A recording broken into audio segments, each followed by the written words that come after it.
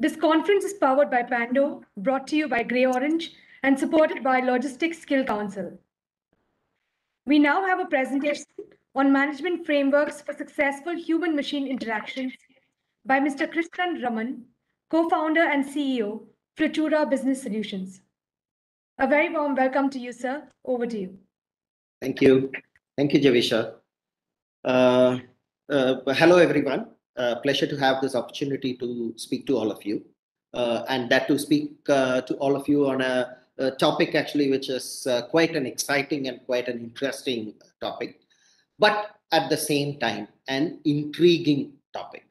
I'm not so certain in terms of actually how many of you are aware about what this entire human-machine teaming concept is about.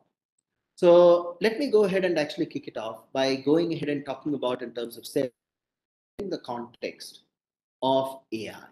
Uh, Andrew Ng had gone ahead and actually uh, crafted AI as the new electricity.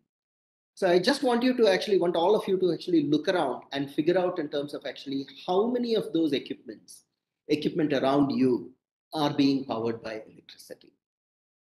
Now, electricity was a silent revolution that has gone ahead and happened uh, over a period of time. And there is hardly any facet left in our life which is not touched by electricity.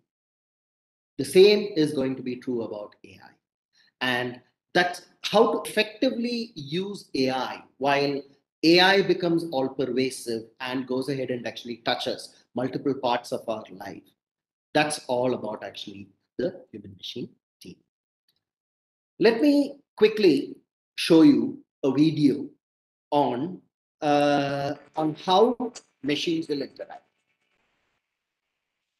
ADNOC's Panorama Digital Command, a fully integrated real-time data visualization center that empowers ADNOC's sharpest minds to gain insights, unlock efficiencies, and identify new pathways to optimizing performance. Panorama is an example of what Abu Dhabi can do. It's a 50 meter screen that allows visualization with more than 120 dashboards that are very granular. We have brought in more than 200,000 data points into this location. Uh, in terms of magnitude and scale, clearly this is something actually which has been implemented at scale and it's an AI command center that has been implemented uh, by uh, uh, ADNOC. Really, really visionary from their side. And the entire copyright towards this, it's a video actually available on YouTube. And the entire copyright towards this is actually for with ADNOC. But that, sorry. So that kind of goes ahead and brings the question to our mind what is human machine teaming? And why is human machine teaming an important aspect? The biggest element that actually we need to appreciate related to human machine teaming is coexistence. It is never going to be a situation where there are only humans, like what it used to be in the past, or there is never in the near future going to be a situation where it is only about machines. A clear understanding of technology interfacing between the humans and the machines is very, very critical for us to go ahead and make sure saying that AI implementations are successful. If you look at it, what are some of the challenges in AI adoption today? The first and the foremost is there are a lot of humans in this world who really think saying that AI is going to come in and take my job away. So we, unless otherwise, at a subliminal level, that is kind of gone ahead and taken care of. And you go ahead and implement a solution which will kind of actually address their concerns at the subliminal uh, level. It is very, very difficult in terms of taking care of actually running with an AI implementation.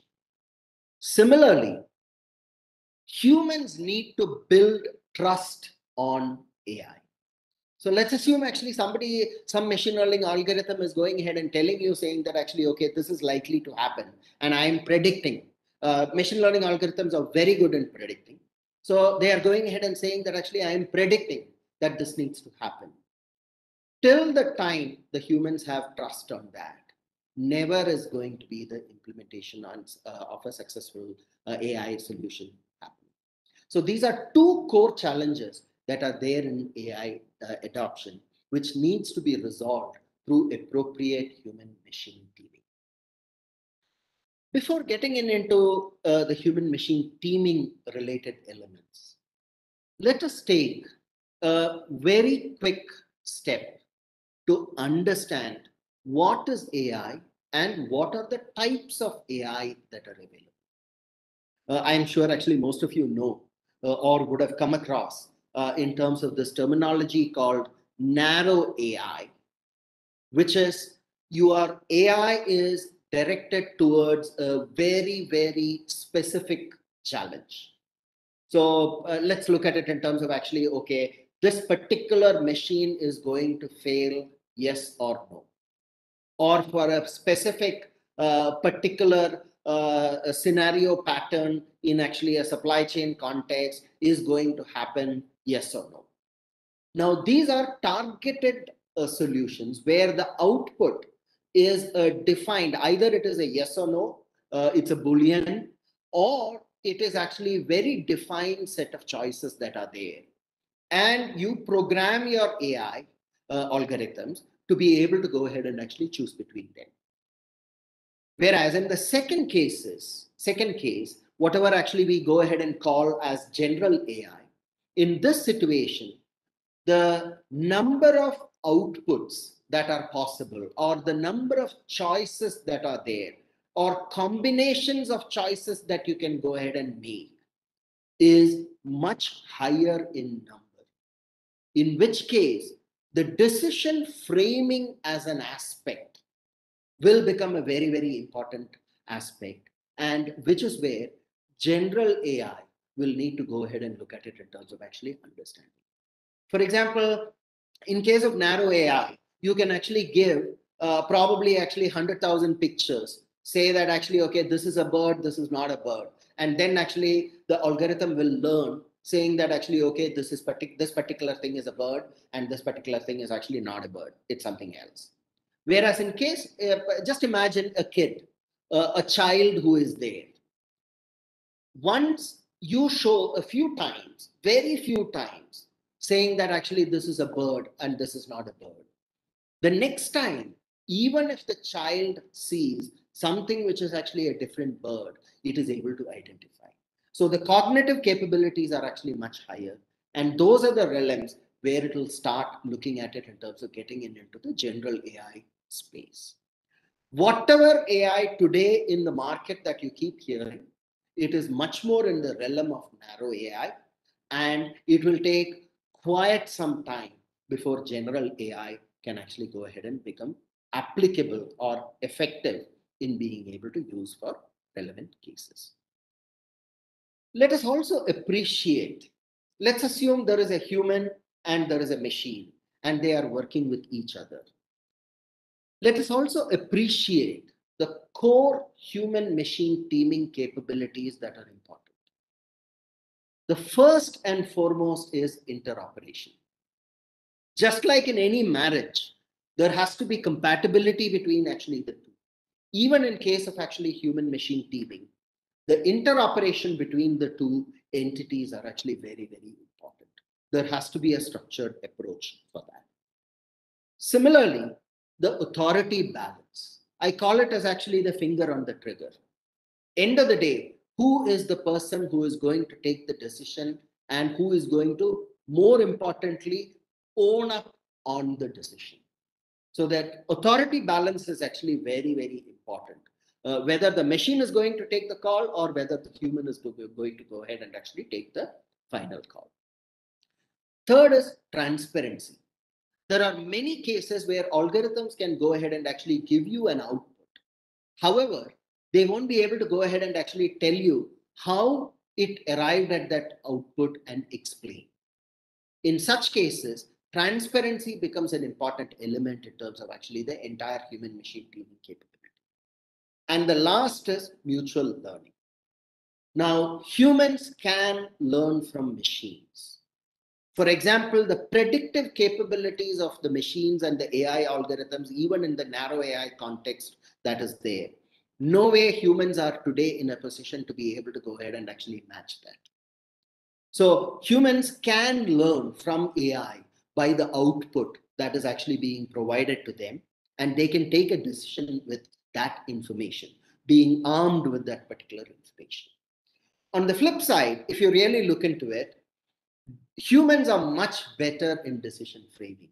And once the AI recommends certain things which are wrong, if a human is able to go ahead and actually give a feedback, then the AI can continuously learn and improve in being able to do it. So this is actually related to the core human machine teaming capabilities aspects. Now let us actually take a look at it in terms of actually the decisions that are happening. Uh, there are two elements related to the decisions that you need to look into. One is in terms of actually the process. So we talked about, while talking about actually the narrow AI and the general AI context, we talked about it in terms of whether it is a closed decision making, which means there are defined set of outputs between which actually you need to choose or it is open decision making where you are going ahead and talking about it in terms of multiple options being possible and you need to be able to frame and take a decision in that situation. The second dimension for you to go ahead and actually look into is more oriented towards the risk of the decision making. Now there are cases where the decision making is low risk. Even if you take a wrong decision the impact is actually very, very minuscule. That is actually one others.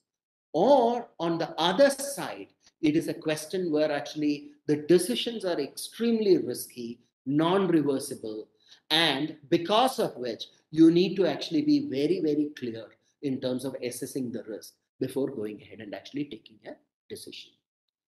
There are four different modes of human machine teaming that are possible. So in let's actually take the case of actually very, very simple uh, uh, risk, low risk and closed decision making process. These are the places where primarily machine-based AI systems can go ahead and take the decision. Uh, let's assume actually there is a case of an ad that needs to be recommended. The machine might as well go ahead and actually take the decision there is no, in the online context, there is no need for a human to come in and verify, should I go ahead and actually serve this particular ad or not?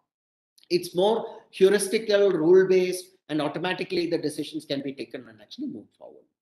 Whereas if you move to the right top side, then it becomes, let's assume actually there is a nuclear reactor and you are going ahead and actually taking a decision on delaying the uh, preventive maintenance schedule for that nuclear reactor.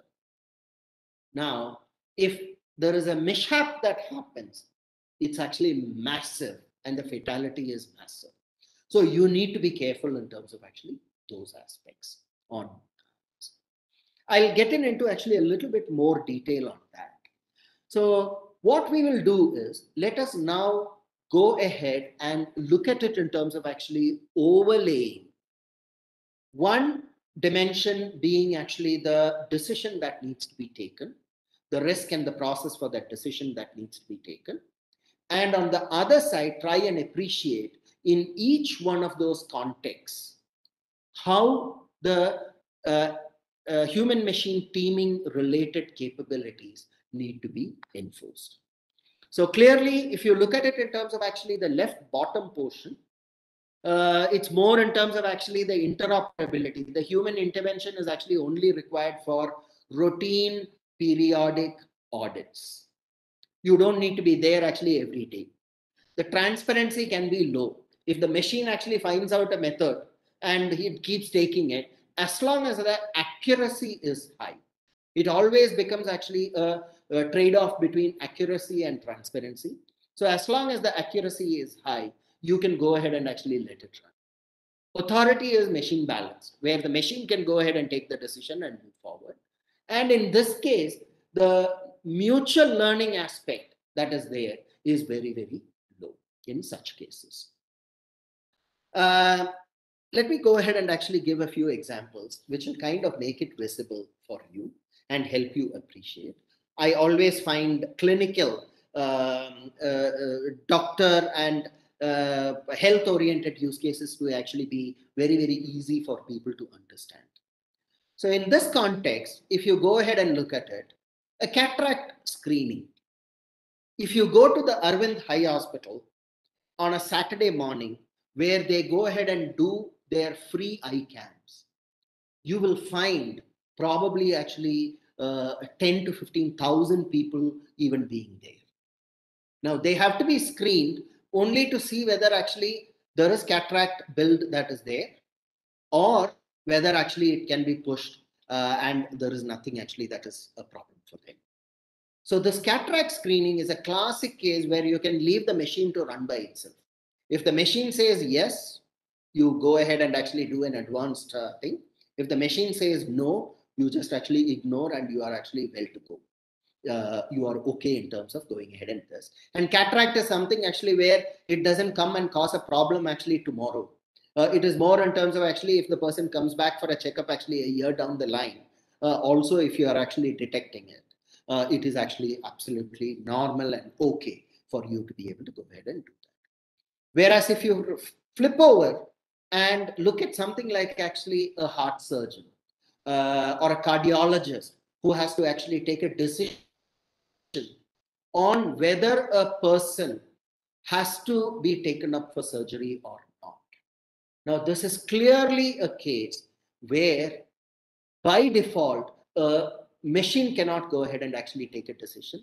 The doctors will not take up responsibility for the machine having gone ahead and actually taken up a decision. So clearly, clearly, the authority lies with the humans.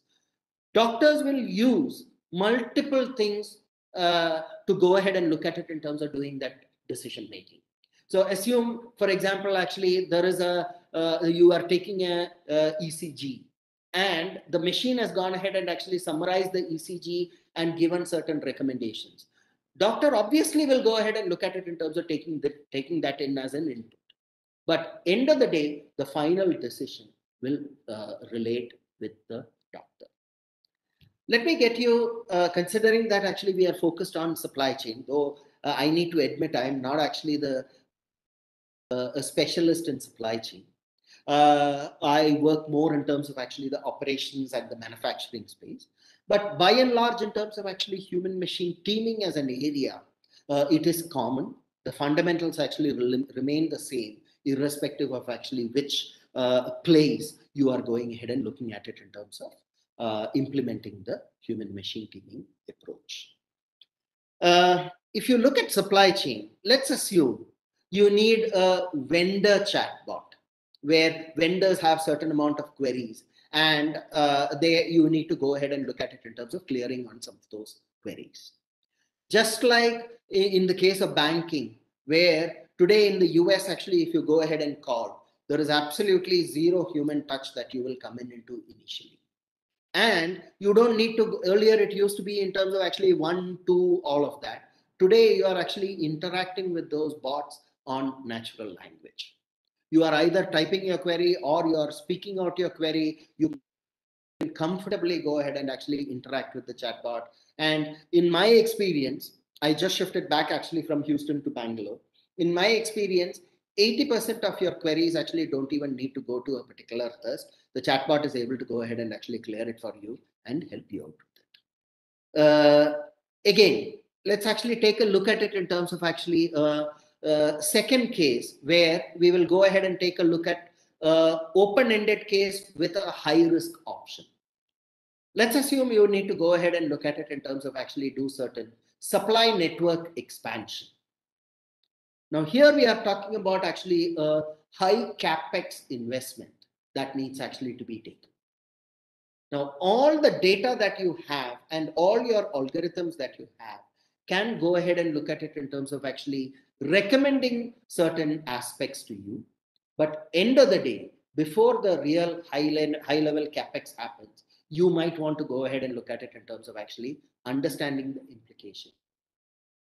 And the human is always the person who will go ahead and look at it in terms of doing that supply network uh, expansion as a part of managing your supply chain. Now, let me also give you a couple of flavors uh, related to the other two uh, quadrants that we talked about. One is in terms of actually the sequential uh, uh, machine human AI systems. So, which essentially means that the machines will recommend. So, by they can run by themselves. There is not too much of concern in terms of this, and the machines will recommend the output. However, before going ahead and actually booking up a vessel, for example, one of our customers, uh, which is actually into the LNG space, before blocking and uh, paying that actually advance for that particular tanker, it is end of the day a human actually who will go ahead and look at it in terms of making that particular decision.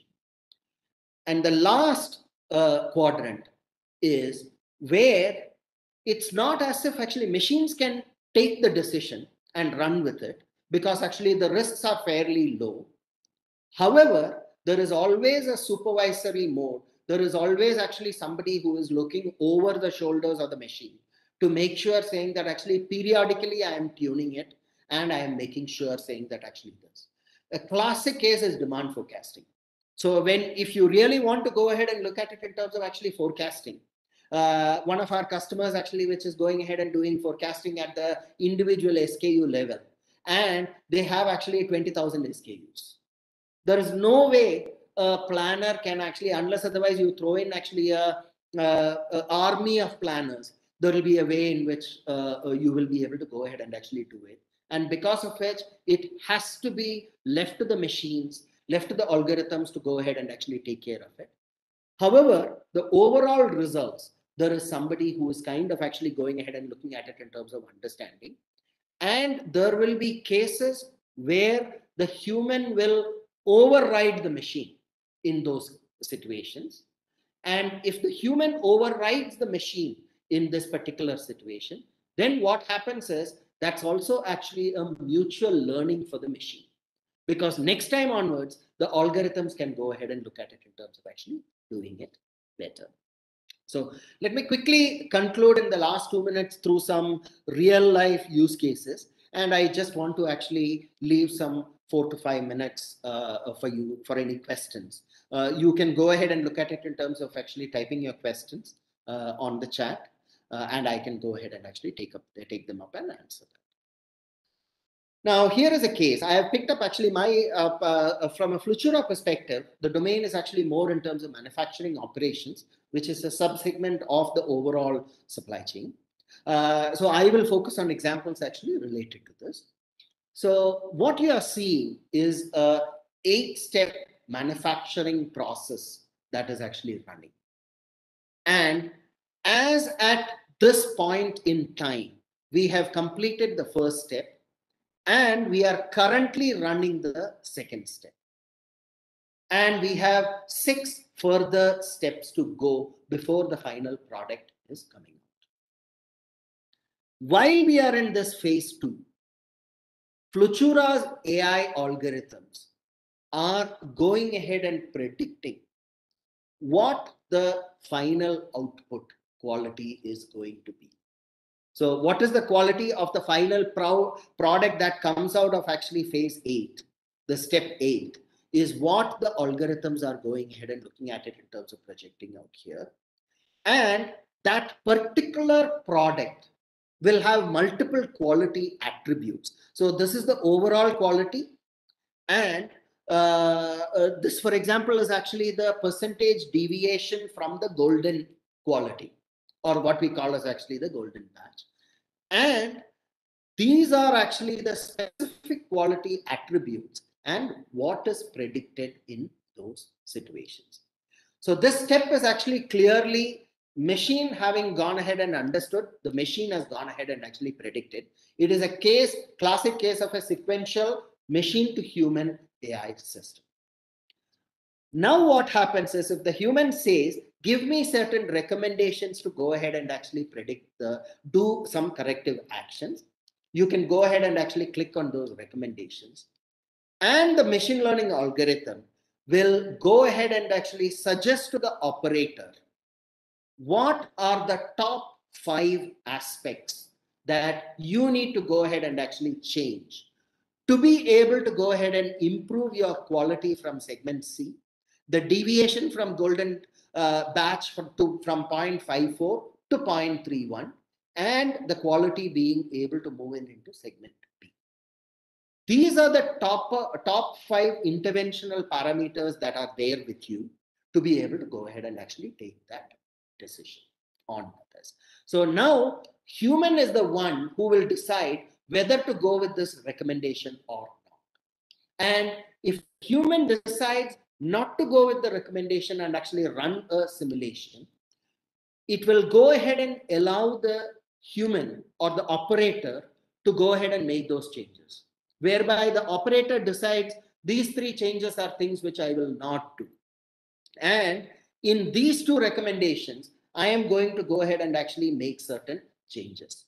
So this is a classic avatar of cyclic machine to human uh, AI systems. So machine had recommended, but the human has actually taken over the mantle. Under normal circumstances, it would have been fed back into the process controller and it would have actually gone ahead.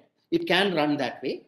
But if not, you can go ahead and actually make those changes. And it becomes more in terms of actually a cyclic machine to human situation. And uh, this is where actually the final output actually comes in on this. And let me go ahead and actually give you a case in terms of actually, again, the machine-based uh, uh, cyclic system.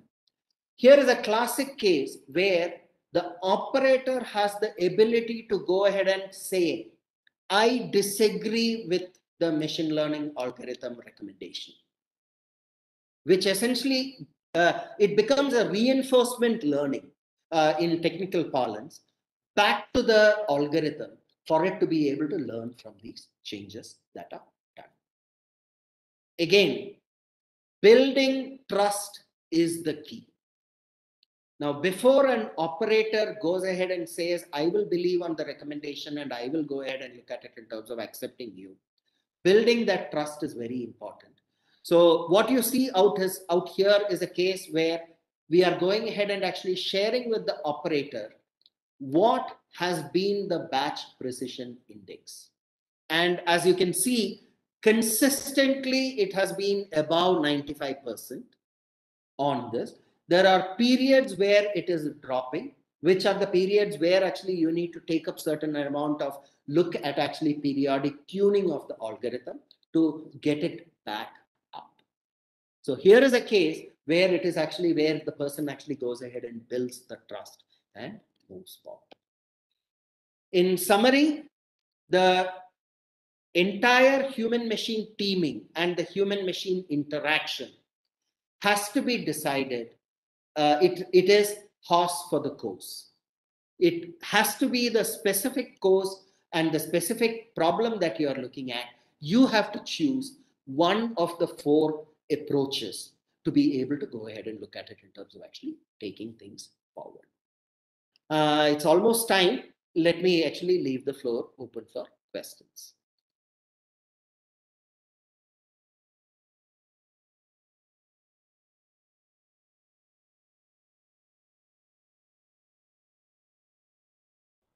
Yeah. Hi, sir. So there are some questions posted in the chat box. Sure. Uh, so the first one is you talked about a trust deficit with respect to AI. How can that be addressed or eliminated? Very, very uh, simple. I think I later during the pre presentation actually kind of gave a few examples. The only way the trust deficit can actually be eliminated is uh, the way Tesla did it. So Tesla already had a self-driving car, but still it gave a driver assist as the first step. So the driver has to be sitting inside the car. You can actually, for short periods of time, go ahead and actually let it drive on uh, self drive. And the moment you start gaining comfort, you are able to go ahead and actually then put it on and do this. For example, actually, I have people who will go ahead and use it for uh, adaptive cruise initially, uh, where actually your Tesla actually speeding up and decelerating actually used to leave it. But lane shift, people get worried. So you don't go ahead and actually try it for that. That you do it actually over a period of time in terms of this. So you have to take it for a test drive, take it for the drive, and then over a period build that trust deficit, build correct on that uh, uh, thing, and be able to address. Thanks, sir. The next question is When, in your opinion, will AI be widely adopted in the Indian business context? The answer is actually the answer. Let me go ahead and actually first ask a counter question on this. Uh, how was actually mobile adoption in India?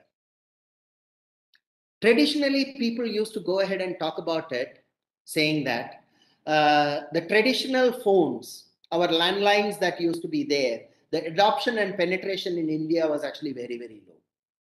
But the moment you shift, you shifted certain amount of actually generations in technology, the adoption was very, very high.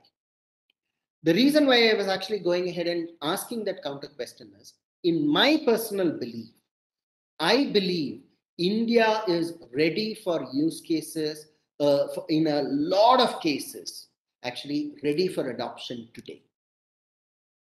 Today, in terms of this, there will be cases, obviously, where there is no historical data. So, take, for example, certain amount of video intelligence use cases.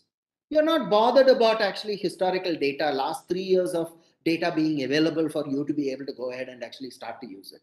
You can leapfrog and you can go ahead and look at it in terms of adopting it today. Thanks, sir. I think we have just time for one last one. COVID 19 has accelerated the adoption of technology, including AI. How much of it do you think is here to stay? Uh, the entire thing is actually here to stay because whatever COVID 19 uh, has gone ahead and actually accelerated is only certain amount of increased digitalization, increased visualization, visibility, I should say.